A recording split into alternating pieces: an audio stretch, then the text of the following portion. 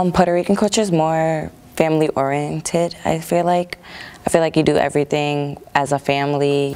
My father was about nine years old when he had moved here, I believe. Is there one thing you would like us to know about Puerto Rican culture that you think we might not know?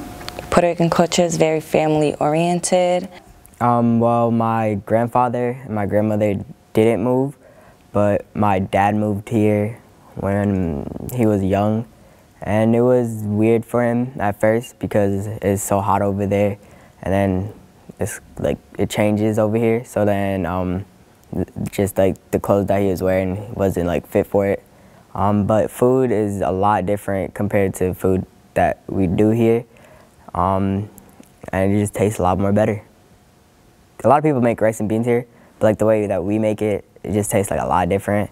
And then there's like pernil, where it's just like pork, and then like seasoning different and everything. Like we speak a lot different, and yet we speak the same.